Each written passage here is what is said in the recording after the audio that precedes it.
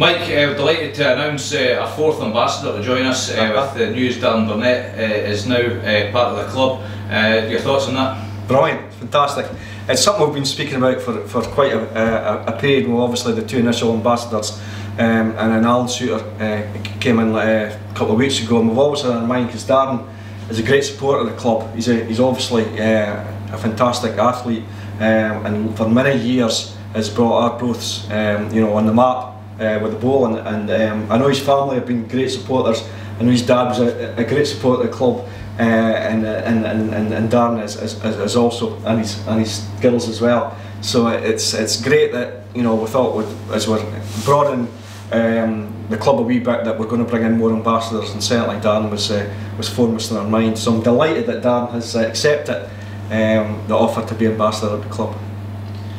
Dan, you've had a, a, a wonderful career uh, today. Uh, hopefully more to come in the future. Uh, you've put Arbroath on the map countless times with the, the, the Bulls. Uh, where does this rank now in your career now joining uh, as an official ambassador of the football club? You know, it's, it's a great honour. You know, I think you, you go out there in your own sport and you, you try and do the the best you can and, and that's all I've ever tried to do. You know, I've been lucky enough to have you know, a fair bit of success.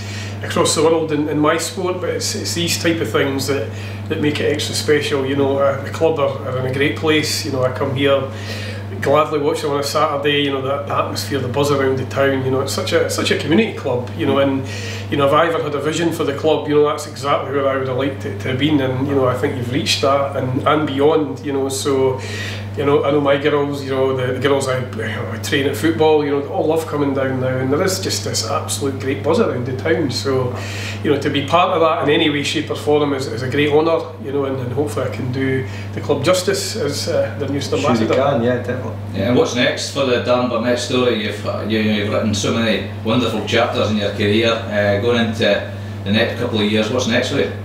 Yeah, well, obviously we have we have Commonwealth Games next year. We have a, a squad, and the, the team will be finalised in the next few weeks, I think. So you know, it's fingers crossed time. We've we've done all we can as as players, you know, and it's now up to a selection panel to decide who's going to that. So you know, that would be a an amazing achievement if I could get there. It would be my sixth Commonwealth Games down in Birmingham. So I started many years ago in Manchester, and it would be really nice to, to make Birmingham. It would be kind of a like worldwide sight, sight circle to, to get back there. So that's that's obviously a priority, and, and hopefully I've done enough for that. And then we have the World Championships at the start of the year.